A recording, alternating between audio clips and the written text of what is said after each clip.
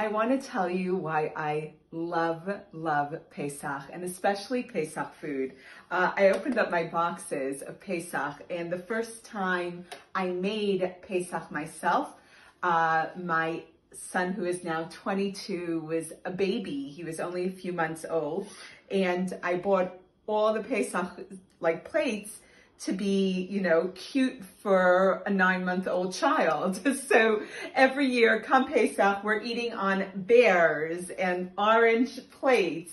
Uh, so I love that memory and it hits me really strongly. I guess when you see something year round, the memory isn't there, but when you just bring it out once a year, it's lovely. Uh, and I also love the old family recipes. And I think because we only make them once a year, we don't play around with them. We don't try to cut down the oil or the fat because it's just that once a year. And I think they stay really, really unchanged because of that. So what I'm sharing with you is my Aunt Eudice's Pesach cookies.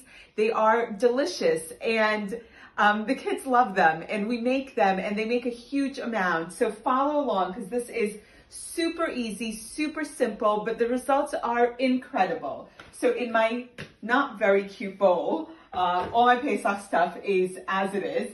Uh, we're gonna add two cups of sugar, two cups of potato starch,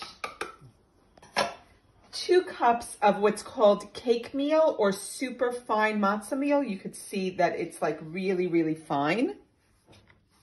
And that's going in along with 100 grams, which is 10 packets of uh, vanilla sugar. So it really does make the most of all like those Pesach ingredients.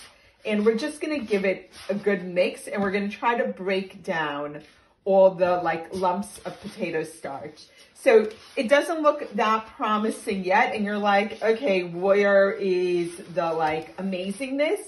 And I think the amazingness of this cookie is in the texture. What we're gonna get is this really crumbly cookie and it is so delicious. I don't even know how to explain it. So you can see most of the lumps are gone. And to that, I'm gonna add three quarters of a cup of oil and four eggs, which I've checked are all going in there. And we're just gonna mix it we are still ages away from baking because once this mix comes together, we're gonna roll it into logs um, using baking paper and freeze the mixture. Once it's like totally solidly frozen, we're going to slice and bake. And you gotta love a slice and bake cookie, uh, especially a slice and bake Pesach cookie. And trust me on this, you're going to love it.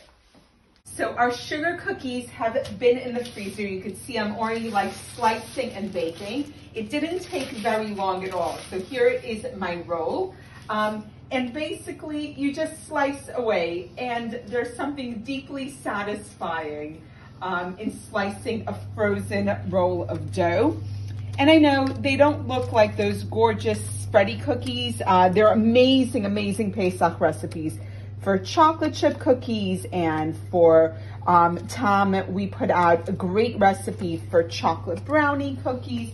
Those are all available, macaroons, coconut, almond, you name it. But these are like serious Pesach cookie, I think because of the matzah meal that goes into them. And for me, they're just nostalgia. So there are two options here. You can either put the cookie down and sprinkle it with sugar and press the sugar in, or what I find easier is to just drop the cookie and press it into the sugar. Um, you would think there is enough sugar in here, but it's actually not all that sweet. It does need this little bit of a sugar coating to kind of elevate it. Um, and let me just show you, when we take a break from coating the cookies. Here is a tray of cookies that just came out of the oven. So they don't look much different to the cookies that went that are going into the oven. You can see that. Um, and I think I have a tray of cookies ready to come out. Let's have a look. Woo! Yes, we are ready. Check that out. So they are nice and ready. You can see that they've been in the oven for about 15 to 20 minutes and the bottom is cooked the top is a little soft to the touch. It's gonna get harder.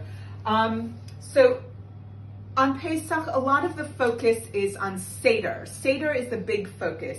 I'll tell you my favorite part of Pesach. It isn't the Seder. Like the Seder is great and it is the focus, but it's the morning after. It's when my husband and I wake up early, bleary eyed. Um, he's ready, getting ready to go to shul. Uh, and we sit down for a cup of coffee and a Pesach cookie. And that's when Pesach really starts for me. And it's an incredible moment. Um, I'm still going to have that this year because thank God my husband and two of my kids are home. I feel for the people who don't have that this year. Make the cookies, send them to someone. They'll appreciate it, they'll love it. Um, but from my kitchen to yours, wishing you all a beautiful, restful, peaceful Pesach, and that next year we will celebrate together in Jerusalem. See you all soon. Happy Pesach.